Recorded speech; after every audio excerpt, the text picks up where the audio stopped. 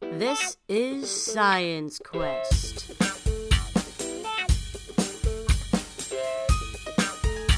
With your host, Jed Allen Freels.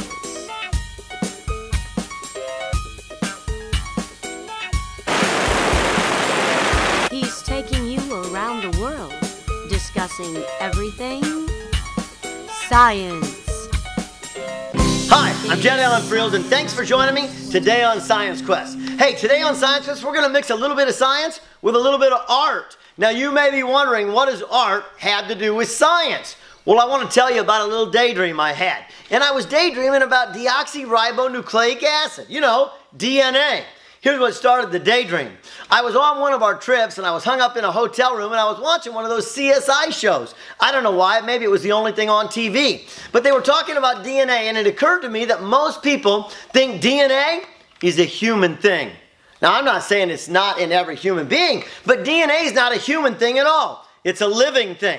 And then it occurred to me that most people don't get that every single living thing is made of four simple amino acids A, T, C, and G. That's right. Adenine, thymine, cytosine, and guanine make up every single living thing. I don't care if it's a blade of grass or a human being. I don't care if it's a dolphin or a tree. I don't care if it's a spider or a sponge living on a reef somewhere on the Great Barrier.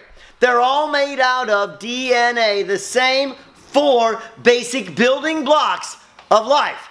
Now, what does that have to do with where I'm standing at today? Well, let me tell you where my daydream went. I dreamed about building a 14,000 pound structure that people would see and looked like DNA. So, where are we? We're in my welding shop back on the ranch. Here's what I'm going to do I've taken 14,000 pounds of steel and I'm going to build a 20 foot tall DNA model. Now, here's what it's going to look like. I started doodling a little bit and I thought, well, why not build a great big DNA base pair with a spire out the top that says life? And then when we get done with that, we would put support systems in. So when people walk up to it, they see a 20 foot tall model of DNA. I had my boys over at one of the local fabricating shops run it through their CAD program. And sure enough, 24 base pairs with a spire of 8 inch I beam weighing 80 pounds apiece puts me at 20 feet. Then I had them run it through their wind tunnel. When they run it through their wind tunnel, they decided to add the sugars around the outside and the phosphates with some 11 gauge 10 inch steel. That 11 gauge 10 inch steel will wrap its way around the column all the way to the top. Now, by doing that, that'll give our structure some rigidity. Now here's what's going to happen. Every time we lift a beam up into place with our hoist here in the welding shop, we set it down and we weld it fast. Now you'll see our chalk markings. Those will be welds and there will be stiffeners welded into place to give us the joints between A and T and of course our C and G joints. And then our C's and our G's and our A's and our T's will be welded into place. When I get done, I'll have 24 base pairs that I will have welded into place. Now that's not the coolest part because then I started daydreaming some more. And I thought, how am I going to get people convinced that DNA is in every single living thing? How do I turn it into a real piece of art? So I started doodling. And here's what I came up with. What if I took a human and I built it out of the same I-beam? So stay with me here. Let's pretend that this I-beam is my human's leg. And my human is 10 foot tall, but he's built out of I-beam. And he's stretching up, and he's grabbing for the DNA, supporting him. He's supporting the DNA, the DNA is supporting the human. But here's the catch. On the same structure, on the same piece of art, we take the other corner and we use the same I-beam.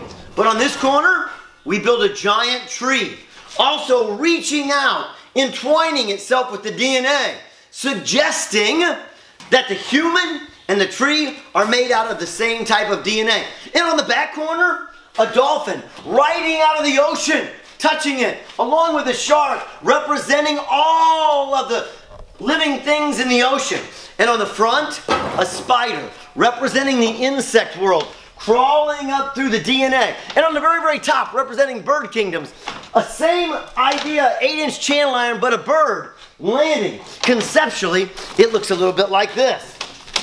Our DNA model with our human, our tree, our spider, our dolphin, all reaching out for the very thing that supports their life. DNA. Deoxyribonucleic acid. You see, it's in every single living thing.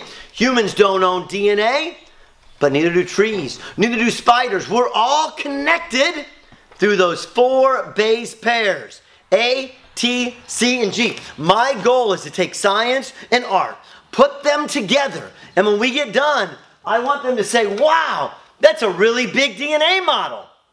But then as they look closer, and they notice that all of the creatures around the DNA are built out of the very I beam that the DNA is built out of, I want them to hopefully say, wow, I get it. We're all made of the same thing. If we accomplish that, we'll do what art truly is intended to do.